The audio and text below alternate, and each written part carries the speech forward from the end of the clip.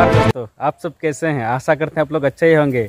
और आज मेरे पीछे देख रहे हैं जो है ना, ये ऑरेंज का पेड़ है। और इसे जूस कैसे बनाएँगे वो आप लोग को दिखाएँगे। अभी तोड़ेंगे, इसके बाद आप लोग को दिखाते हैं हम जूस कैसे बनाते हैं। देसी वाला जूस पूरा पक गया है, पूरा पेड़। हल्का हिलाने पर गिर जा रहा देखिए।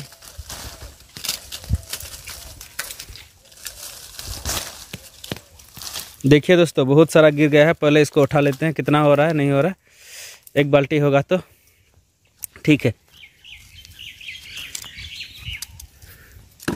देखिए, बहुत सारा गिर गया है। देखिए दोस्तों, आधा बाल्टी हो गया पूरा एक बाल्टी भरेंगे। और इससे कितना जूस बनता है, आप लोग को दिखाएँगे। आप लोग देख सकते हैं, मैंने पेड़ को बहुत ज़ोर ज़ोर से हिलाया तो कि बहुत सारा गिर गया। अब इसको उठाएँगे और बाल्टी में रखेंगे। अब पूरा एक बाल्टी भर जाएगा।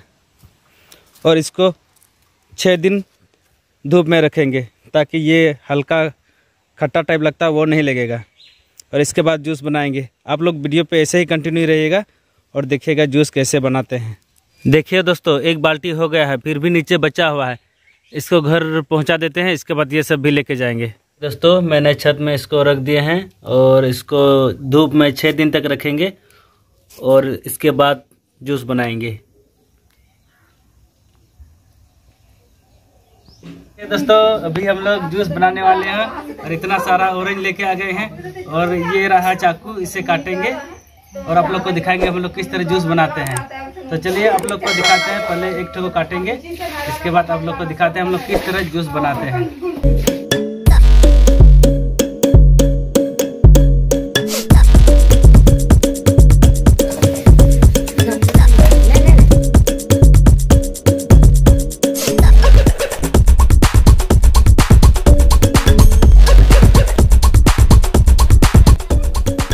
देखिए दोस्तों, किस तरह बन रहा है।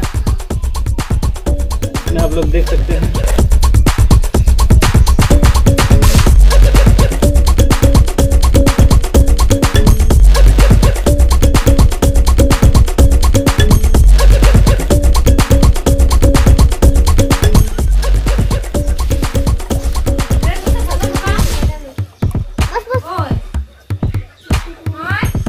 देखिए दोस्तों, हम लोग ने जूस बनाए हैं।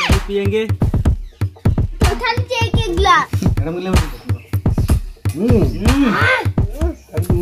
एकदम बहुत मीठा लग रहा है। तो वीडियो देख के आप लोग कैसा लगा? कमेंट में बताइएगा। मिलते हैं नेक्स्ट वीडियो में। तब तक के लिए बाय बाय बाय बाय